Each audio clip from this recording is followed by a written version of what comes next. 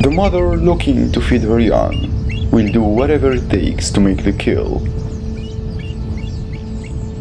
This female eagle is on patrol.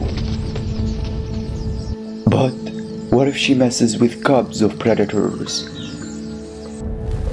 Here, among the mountains and moors of Africa, is a bird that embodies the best elements of the greatest raptors.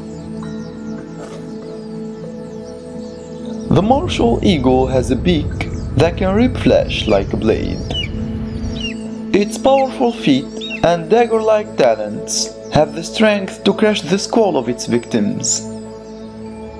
This newborn leopard barely learned to run and play, but in an oversight on her part, the cub moved away, and she was unaware of the danger looming in the air.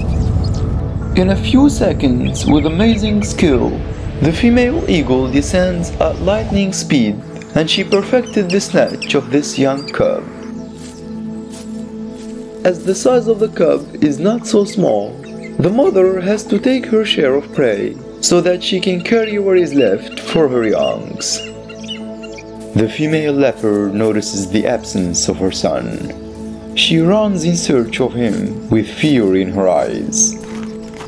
With incredible agility, the female leopard jumps over the trees. She was late, but at least she managed to catch and kill the killer of her cub.